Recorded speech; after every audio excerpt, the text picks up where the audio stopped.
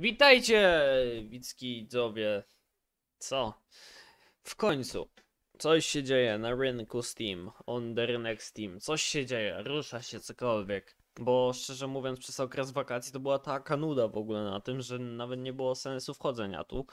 I szczerze, jak się dzisiaj na to patrzy, to widać, co się działo przez ten cały czas, że wszystko leciało w dół i w końcu mamy jakiekolwiek znaki, że może będzie lepiej.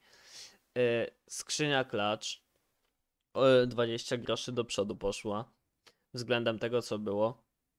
A Szczerze, mnie się nawet nie chciało na, o tym jakoś, nie wiem, zastanawiać, robić czegokolwiek, bo to, to nie, nie ma po prostu, nie miało wręcz sensu, żeby jakkolwiek na to patrzeć.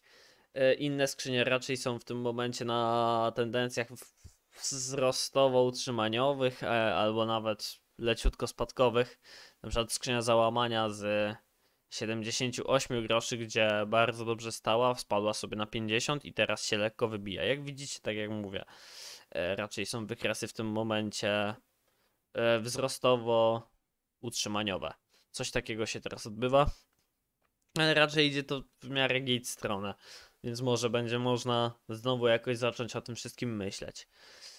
Kolejną rzeczą jest skrzynia pryzmatu w którą akurat, jak ja ją obserwowałem, to było nawet na 16 groszach, na bardzo niskiej pozycji. Jak widzicie, dalej jest możliwa do kupienia. E, Co ciekawe, bardzo mocno się odbija do 19 i do 20 groszy, a wtedy, jeżeli by się ją kupiło za 16, to jest to całkiem spoko zarobek. Bądź też, jeżeli by się przytrzymało, to jest jeszcze dalej. E, jeszcze dalej będzie można z tego zarabiać, więc E, Na 16 groszach akurat jest spoko. Jak widzicie, ona tak sobie lubi podskoczyć, potem lubi sobie spaść. On tak ma e, od już dłuższego czasu, ale raczej teraz na rynku Steam nic konkretnego się nie dzieje. RMR-y spadają w dół. W sumie ciężko, żeby spadały do góry. E, To już było mówione tysiąc razy, ale lecą w dół, ewidentnie. I jest to dla mnie dziwne, bo dla mnie RMR raczej są tak jakby takim przedmiotem, który po pewnym spadku, raczej po pewnym wzroście, nie powinien już w ogóle spadać. Tak mi się przynajmniej wydawało. I szczerze mówiąc, to tylko z tego co widziałem, to Heroic poszło do góry jako naklejka, chociaż pewnie znając rynek Steam, to i tak już zleciało w dół. E, No nie, nawet nie, nawet nie zleciało. Nawet się utrzymało. Jedynie co to Heroic bardzo mocno poleciało do góry. A tak to wszystko leci raczej w dół. I z tego co ja pamiętam, to yy, Tailu w Goldzie kosztuje już 90 zł z 200 zł, bądź tam 150 czy tam 216, co jest dosyć średnie. To ogólnie pokazuje, że cały rynek Steam w tym momencie trochę zamarzł i mnie się trochę wydaje, że rynek Steam działa trochę proporcjonalnie do tego, ile osób gra w grę, bo kiedy dużo osób gra w grę, to ten rynek Steam praktycznie nie żyje. W sensie, jeżeli chodzi o te główne przedmioty, e, czyli skrzynki, które dropią i tak dalej, i tak dalej, a kiedy nagle ludzie kończą grać w grę, w sensie mają mniej czasu, żeby to robić, e, mniej się dzieje w ogóle, to ten rynek jest mega aktywny i wtedy tak naprawdę można najwięcej na nim zrobić, co powiedział, że jest chociażby trochę dziwne. Dziwi mnie też to, że Heroic w ogóle tak jakby nie upada. Nie wiem, co się z tym stało. Jak widzicie, naprawdę to był spory skok. I kiedy wcześniej takie występowały, to raczej coś od razu spadało, a z Heroic się tak nie dzieje. E, też nie, mia nie miałem jakby chęci, żeby to wszystko śledzić. Robiłem głupoty inne. Pojemnik z naklejką 2. Też, jak widzicie, on, on ogólnie się wybił przez chwilę. Chociaż nie wiem, czy tu będzie widać. Do 70 i teraz sobie spadł do 60. Co jest zwykłe. I, I tak się dzieje na tym rynku. I moim zdaniem dopiero teraz coś się zaczyna odbijać, bo pryzmat nawet do 23 chyba zmalał, czy coś takiego było. Był strasznie nisko. Eee, gdzieś to będzie? No nic, nie zobaczymy tego.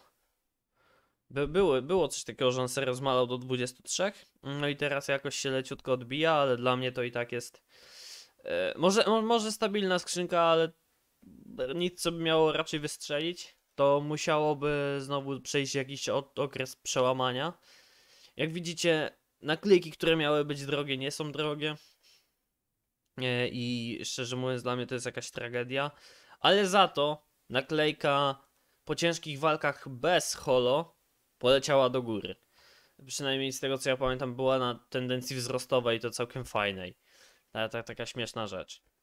I tak wygląda dzisiaj rynek Steam. I szczerze mówiąc, nie mam więcej rzeczy do powiedzenia, bo tu się nic takiego nie dzieje. Oczywiście wszyscy agenci dalej lecą w górę w najlepsze. To jest standard już, jeżeli ktoś jest za, zainteresowany e, inwestowaniem w tym momencie, to zalecam przyjrzenie się wszystkim agentom z operacji Broken Fang, bo ci ewidentnie rozwalają system. Aż sobie sprawdzę jeszcze ile kosztuje agent Phoenix.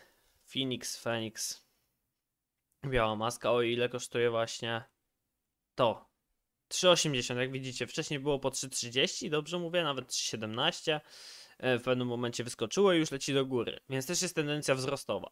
Ciekawa inwestycja swoją drogą. I e, uliczny Fenix akurat stoi w miejscu, ale on tak stoi w miejscu, że i tak leci do góry. E, różnie stała cena jakby się przemieszcza, więc on, on w taki sposób sobie wzrasta. No a te wszystkie rzeczy to jest 7-5 groszy. E, NIP to już w ogóle jest jakaś tragedia totalna. Chociaż e, no Vitality to była chyba nawet po 13 zł ona była? Widziałem ją po tyle? No widzicie małe spadki, były po 13 zł. Także no, no, nie, nie wygląda to najciekawiej. Dużo rzeczy, które powinny się zadziać, się nie zadziały, przez to, że po prostu jakoś na rynku Steam nie było zbyt dużo pieniędzy, nie, nie było jak przemieszczać tego wszystkiego, tak naprawdę to wszystko stało w miejscu. Czy teraz się to odblokuje? Ja uważam, że na pewno nie na tych przedmiotach, które właśnie pokazuję. Tutaj nie ma mowy o żadnym odblokowaniu i tak naprawdę no to musimy musimy się niestety z tym pogodzić, że tu się nic nie wydarzy. E, ale wydaje mi się, że wśród skrzynek w końcu może się coś zadziać. Może nie jakoś szybko, bo to, to też jakby taki wadliwy grunt nieco. Nawet skiny poleciały w dół. To, to, to jest ciekawe. Ale cóż, no nic tylko nam czekać zostało, nie? I obserwować. Dla mnie i tak rynek Steam jest miejscem, w którym jest, bym powiedział, duża moda na jakieś rzeczy i kiedy na coś jest moda, to to jest jakby tanie, potem się to robi drogie, a potem się o tym zapomina i to bardzo cicho drożeje. Dla mnie, dla mnie tak działają te wszystkie rzeczy. Dlatego lubię właśnie inwestować tutaj, a nie w innych miejscach, bo e, jest to pewien wzór po prostu, który mam nadzieję, że większość po prostu zna i rozumie, jak to działa. Na przykład Breakout, który jak widzieliście sami dokładnie, ta, dokładnie tak się wybijał, że była, była cisza, cisza, cisza, nagle wybija się do góry, jest mega dużo krzyku, etc., etc. Później w ogóle nic się z nim nie dzieje, nagle leci do góry, nic się z nim nie dzieje. No i tak w kółko. I czasami w większych przypadkach, no to już jest mega, mega drogi. No, no, no tak, tak działają takie rzeczy. Wiadomo, mamy jeszcze synów marnotrawnych odrzuconych. E, no ale to, to, to jest inny temat. Cóż, to by było chyba na tyle. Będę robił filmy ogólnie na tym kanale, tak jakby o, o tej tematyce, ale musi tu coś dziać, bo jak się nic nie dzieje, to ja jedyne co mogę zrobić, to wrzucić sobie historyjkę, której i tak nikt nie oglądnie, bo one są do dupy. Ale co? To tyle w sumie. Takie podstawowe informacje o rynku Steam. Mam nadzieję, że się w końcu te skrzynie załamania odbiją, bo już mnie Ach, denerwują. No, fajnie się na nich zarabiało, ale potem się zniszczyły. I skrzynie w Broken Fang, w ogóle co się z nimi dzieje? To jest jakaś tragedia. To jest jakaś, nie wiem w ogóle jak to się może stać. Nie wiem, ja nie rozumiem, te, nie rozumiem tego procesu, który tu zaszedł, ale rynek rządzi się własnymi prawami, a mi jest dane tylko ja czasami rozumieć. Także trzymajcie się. Na razie.